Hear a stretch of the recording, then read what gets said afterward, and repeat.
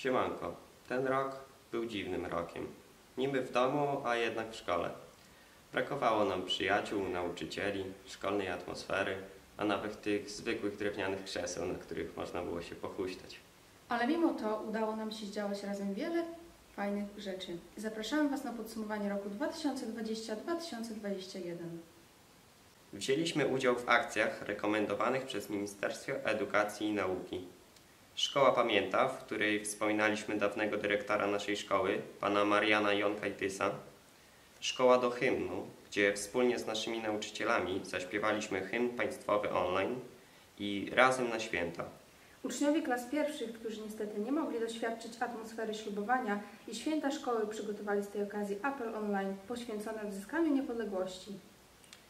Wzięliśmy udział w akcjach prozdrowotnych i ekologicznych, w sprzątaniu świata 2020, w Światowym Dniu Rzucania Palenia, w Światowym Dniu AIDS, w Światowym Dniu Ziemi oraz spotkaniu z przedstawicielami Komendy Powiatowej Policji na temat odpowiedzialności prawnej osób nieletnich.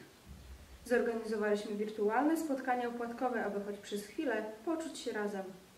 Braliśmy udział w konkursach i olimpiadach, w turnieju wiedzy pożarniczej Młodzież zapobiega pożarom, w finale dziewiątych og- ogólnopolskich Mistrzostw Mechaniaków 2020. Rozwijaliśmy się również naukowo, biorąc udział w takich wydarzeniach jak Międzynarodowym Dniu Języka Ojczystego, Dniu Matematyki, Dniu Geografa, Światowym Dniu Książki i Praw Autorskich, Ogólnopolskiej Maturnotce z języka polskiego. Wspólnie z firmami budowlanymi Danut i Unihaus ogłosiliśmy konkurs pod tytułem Zostań uczniem ZS1 w Bielsku Podlaskim i zgarnij Samsung Galaxy Tab do nauki od Unihaus i Danwood.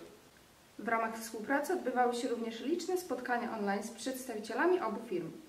Własnymi siłami wyremontowaliśmy dwie pracownie szkolne, pracownię języka polskiego i pracownię budowlaną. Rozpoczęliśmy realizację kolejnego projektu Nowoczesne kształcenie zawodowe w Bielsku Podlaskim, w ramach którego braliśmy udział w wielu zajęciach edukacyjnych oraz doposażyliśmy bazę dydaktyczną szkoły. Uruchomiliśmy szkolny serwis informacyjny, w którym na bieżąco informowaliśmy Was o tym, co dzieje się w szkole, a także przekazywaliśmy Wam ważne informacje dla ósmoklasistów, którzy stają przed wyborem szkoły średniej. Nasz Facebook również ożył. Pożegnaliśmy starszych kolegów i koleżanki z klas maturalnych. Do zobaczenia za rok. Życzymy Wam miłych, ciepłych, rodzinnych, a przede wszystkim zdrowych wakacji. Trzymajcie się!